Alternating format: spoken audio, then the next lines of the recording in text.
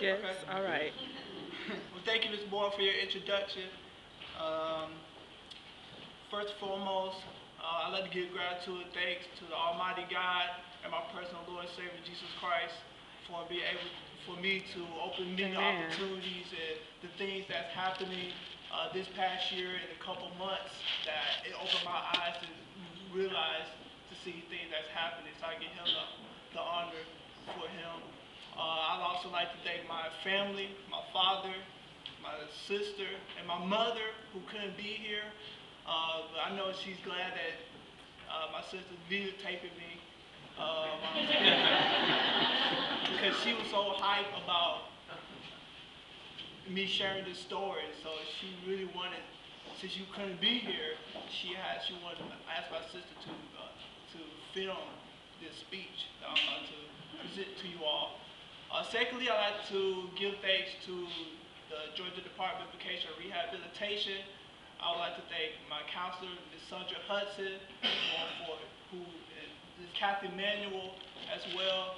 I appreciate them because they gave me the opportunity to able to open doors as well. And when they gave me the opportunity uh, earlier this uh, earlier last that, that when they gave me the option to speak in front of you all, I had no choice but to say yes. I was like, what better opportunity to to network and meet people and to actually to share your story with others as well. Uh, to, I see other, a lot of people from vocation rehabilitation, uh, the Stoner, Ms. Teresa Roberts, and uh, as well as others who I see for uh, the rehabilitation center, who I'm able to name some, but forgive me. and thirdly, I'd like to thank you all for able to be here today, and especially it's a great gratitude to see people from across the region and the state, uh, to see elected officials. Uh, it's just an honor and humbly for me to be able to meet and network other people. And that's well the people who's here today, people, as I see a diverse people, and I see people who have disabilities, I'm very humble and grateful that you all, you all are here. And people who are other, who work in other fields as well. I'm able, I'm glad to be able to share with you all with my story. As stated, I am a client representative for the Georgia Department of Labor, Vocational Rehabilitation. I am now a senior at Albany State University majoring in technology management. Uh, prior to my study at Albany State University, I earned my associate's degree in technology management. And I'm also a native of Albany, Georgia as well. I'm a 2008 graduate of Dougherty Comprehensive High School. And for the past three and a half years, the vocational rehabilitation has helped me with my necessities, not only financially, but as well for my future to further my education, my career. So what made me choose vocational rehabilitation? Before I moved, before I moved to this section of this part of the set of this story, I will share with you my humbly beginnings that led me for that led me to have the position for vocational rehabilitation to come to help me further my career and my education. I was born in Camp Lejeune, North Carolina. I'm the son of Beanie and Deborah Rucks. I'm the third of four children. I'm the only son. I'm the only boy in the family, so I had three sisters. So it was it was a great childhood. I have family who very supported me in everything I did. The most amazing part of living in Camp Lejeune was the, the diversity that I was was that I was faced with, that I dealt with a lot. My father was a Marine, uh, was honorable Marine for the past uh, 21 years as, we, as he retired when we moved to Albany, Georgia. I had in school, as a child, I was a shy student. I was a shy kid. I really didn't have a lot of friends. I really didn't talk until I was at, at age four. So there was a lot of obstacles I had to deal with. But during kindergarten, I had to take speech speech classes that helped me to speak, uh, to be able to pronounce words and to to correct my grammar and correct the, the tenses of the words I was using as I was speaking socially. When I moved, when I was seven years old, I moved from Camp Lejeune, North Carolina to Albany, Georgia. Here in Albany, Georgia, my mother is a native. So, because we have my parents who's no longer with us, they stayed in Albany, Georgia. So we moved with them before we branched out and we had a house.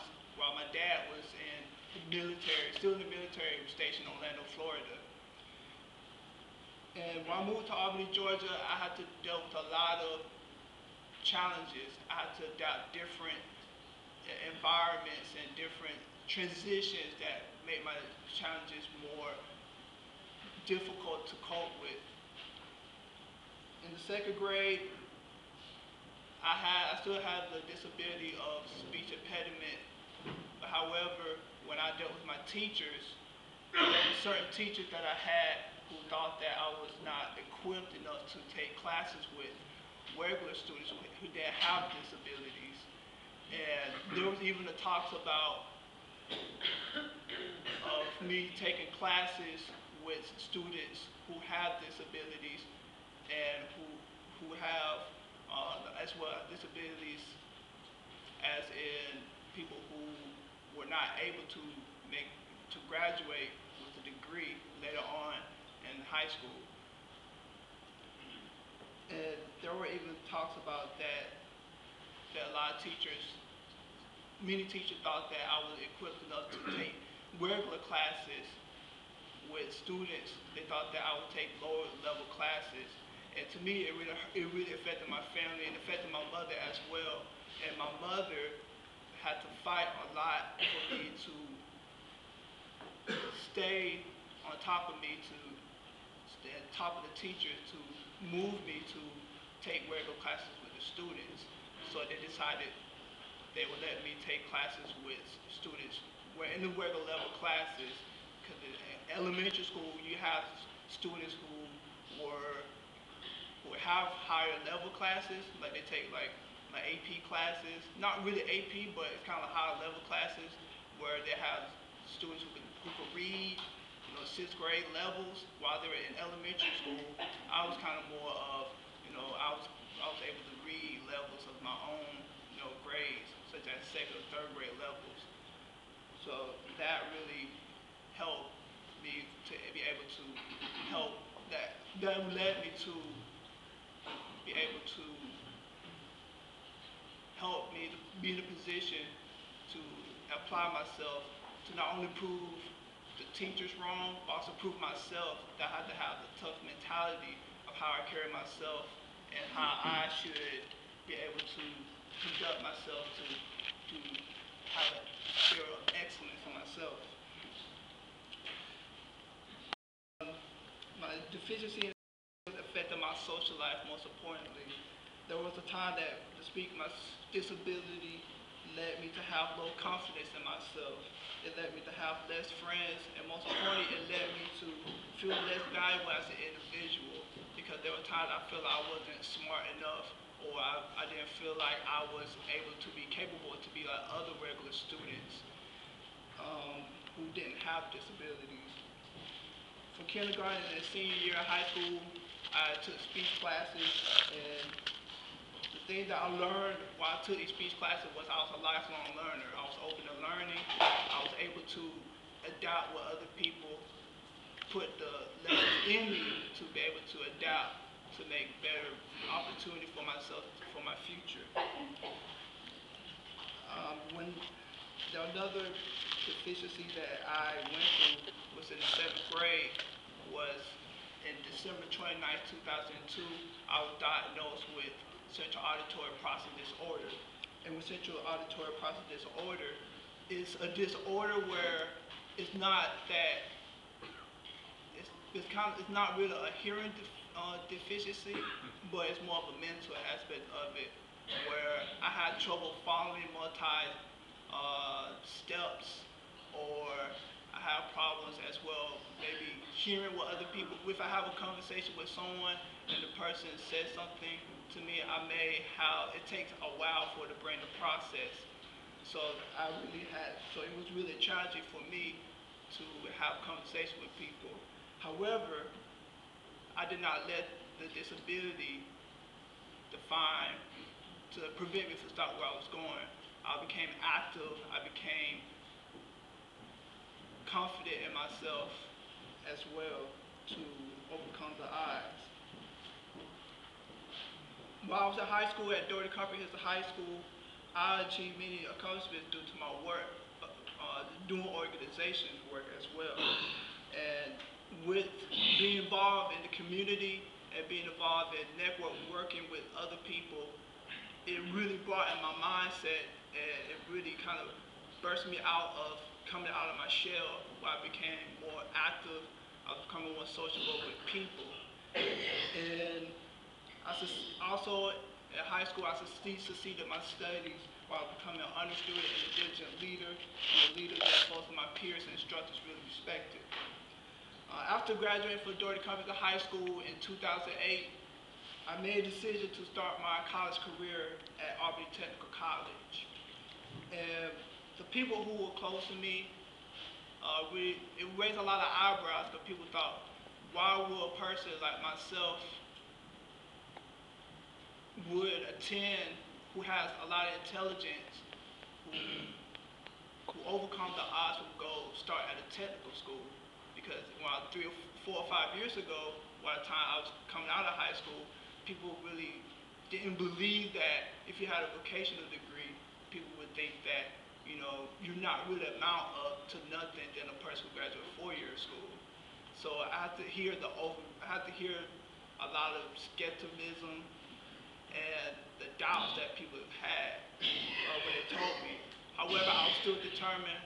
I was, I fight not only to just to prove people, but I had to prove myself again that I have to do what I have to do to be able to succeed. And at Albany Technical College, uh, I learned a lot of new things, and I really and I'm very glad that I attended that school because they really helped me. They really helped me to transform my mindset of how I apply things, how I apply in my study habits, and how I apply in my learning methods, and also it taught me how to stay humble where I seen people who graduated from higher education who who had obtained a degree at Albany Technical College because they wanted a better life. And also I saw people who were laid off. Uh, this is around the time in 2008 when the recession was just starting to occur where it knocked a lot of people out from employment, so people had to come to Albany Technical College, a technical school like Albany Technical College to obtain to make a better life for their, not only for themselves, but for their family. And financially, uh, the reason why I enjoyed Albany Technical College was financially. Uh, it was very, it was very lenient. It was, it wasn't really hard. Uh, the tuition wasn't really high. It was very affordable, so it was easier for my family uh, to pay for my tuition. And while I was at Albany Technical College, I was, I still had the dream mentality to be the best student I could be. I was a diligent student. I was a community leader, and I was involved in Phi Beta Lambda. And in April of 2010, I graduated honors with a GPA of 3.4. During the time I was at Albany Tech, I was introduced to vocational rehabilitation uh, my freshman year. After numerous meetings to know what what the mission was and how and they, they to aid students who have disabilities to secure their college career, I really have no choice but to uh, just let the opportunity for them to help me out to reach where I need, where I want to go. And now that I, I'm at Albany State University and close to graduation, I'm glad to to say that the education rehabilitation to have ultimately help me to help reach my goal, reach my goals financially, uh, and as well in my personal goals as well as a student. Uh, I'm glad to say I'm very blessed for their for for their services because now I don't really have to worry about you know as normal you know college kids would think like college like student loans or anything. Like, I mean, when, I mean I've talked to so many students who have student loans debts after graduation, and it just made me like. Like I'm just so glad I don't even have to go through that, you know. I, I just had, you know, great support services as well, and also have Hope Scholarship as well. So it really helped me balance out, you know, and made me thankful for what I had that many people don't, many people wish they have. Um, I'm grateful to be partnered with VR because they value me to be an advocate for students who have disabilities. And there's one thing that my mother always taught me uh, when I grew older. She always told me, no matter what, when you graduate and you go further your career, don't forget the people who helped you to get there. That's right. You know, don't worry about. I mean, Nishi told me, you know, be an advocate for the people that you want to reach out there. And I feel like in my heart that the people who touched me most was the people with disabilities. Because everything I had to overcome to get where I am now is speaking in front of a, lot of people and speaking in front of respectable uh, state and local uh, representatives is a truly a blessing. And just be able to to accomplish a whole lot in college, you know, to be a, to overcome from what people thought that they want you to become something they want you, what they thought you were, but you prove what you, what you're really not. You know, I, I'm glad to say that the, the accomplishments I achieved, it wasn't for me. I really believe that God placed his accomplishments that he had me to experience to share to other people. And I want to share it to the people, uh, people as well in my heart, people who have disabilities, that no matter what, you know, you can achieve everything. No matter what obstacles come, you you can overcome everything that, that's come in your face that you have to encounter. And I'm glad to say, I just learned yesterday, that not only did I won scholarships, I'm also, I had a perfect semester yesterday where I checked my grades. I had a 4.0 uh, semester.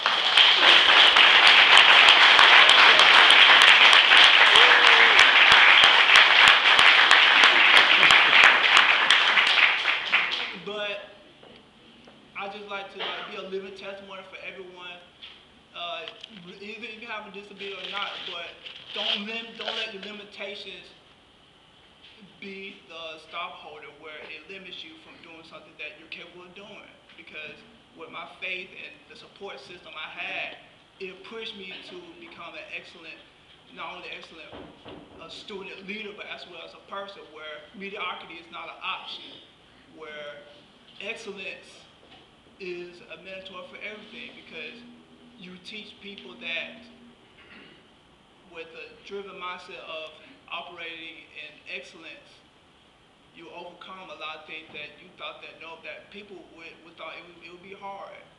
And I'm just grateful to be able to share this story with you all. And I, if you, there's nothing else that you all, if there's nothing else you all could take this I want to let you all know that in life, there's a purpose in every outcome. And the outcome it may not be something that we have to accept. We may not like it, but it's there for a reason. And for the, to those who have or who have disabilities or know someone who have disabilities, I want you to encourage that person to continue to push them to be something that they have potential of becoming. Don't let their limitations limit them from being what they're supposed to be. and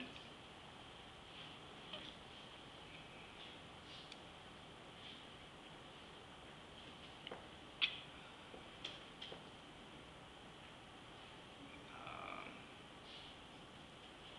let me hold my moment right quick. But um, there's a purpose behind every outcome, but with faith and through Christ, all things are possible if, you just believe. And I think vocational rehabilitation for be able to lend a helping hand and help me to get through where I, where I had to to overcome. And this was a touching moment for me.